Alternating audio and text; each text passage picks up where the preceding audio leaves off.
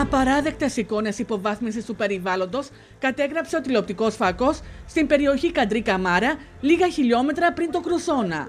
Μαύρο νερό τρέχει σε χωράφια και στον δρόμο πριν καταλήξουν στον Καζανό ποταμό, με δημότες και επιχειρηματίες να διαμαρτύρονται. Βλέπουμε μια περιβαλλοντική καταστροφή που έχει γίνει από βοθρολίματα προφανώς, αν ακούσετε και τη μυρωδιά να την αισθάνεστε, και από κατσιγάρους. Τουλάχιστον. Ενώ έχουμε αρκετό καιρό ενοχλήσει όλες τις αρχές, από λιμεναρχία, από τη διεύθυνση περιβάλλοντος, από, την, ε, από το υγειονομικό όλα.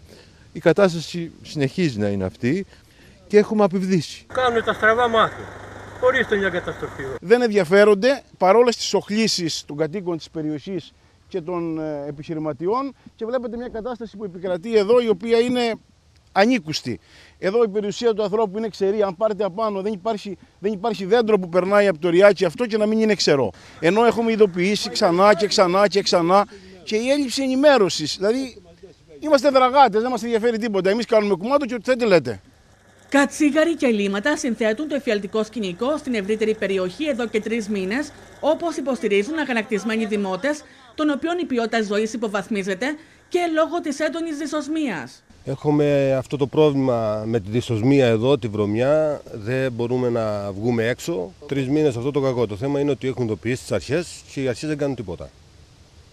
Είναι σε μεγάλη έκταση το πρόβλημα. Σε μεγάλη έκταση. Σε μεγάλη έτσι, έκταση. από ψηλά, έτσι. Από ψηλά ξεκινάει, αν κοιτάξετε όλα τα δέντρα εδώ είναι ξερά. Όλα το ριάκι που κατεβαίνει από πάνω είναι ξερό. Δέντρα, πολλόχρονο κυπαρί, εκεί είναι ξερά. Παλιά, εγώ θυμάμαι και κατέβαινα με τον πατέρα μου, έχουμε εδώ πιο κάτω ένα μετόχι, και κατεβαίναμε στον ποταμό και δεν φοβόσουν να πιεις νερό. Που υποτίθεται δεν υπήρχαν βιολογικοί, δεν υπήρχε τίποτα.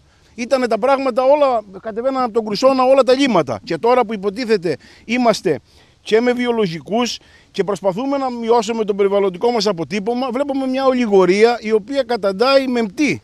Στην περιοχή βρέθηκε άμεσα κλιμάκιο της Διεύθυνσης Περιβάλλοντος της Περιφέρειας Κρήτης, άνδρας της Ελλάς και του Λιμενικού. Σύμφωνα με πληροφορίες, οι αρμόδιες αρχές διαπίστωσαν το πρόβλημα, κινώντας τι σχετικές διαδικασίες. Δεν γίνεται χειρότερα. Έχουν ρίξει και αποσετεύσει και τα λεωτριβία πρέπει να είναι. Δεν μπορεί να σημαίνει. Έχουν εξερραθεί νέα ρίζες, είναι 1700 μέτρα και είναι το μισό ακατάλληλο. Δεν μπορεί να μπει κανείς μέσα. Δεν μπορούμε, φύσαμε είναι αμάζευτε. Δεν μπορούν, αυτές που έχουν μείνει δεν μπορούν να τις μαζέψουν γιατί μυρίζει. Έχουν όλες οι ακαθαρσίες από αποσετεύσεις και από λεωτριβία. Από που είναι δεν ξέρουμε. Στο μικροσκόπιο των αρχών βρίσκεται λεωργείο της περιοχής, καθώς σύμφωνα με πληροφορίες, κατσίγαροι έτρεχαν από λάκους, ενώ οι έρευνες επεκτείνονται και σε βιολογικό καθαρισμό.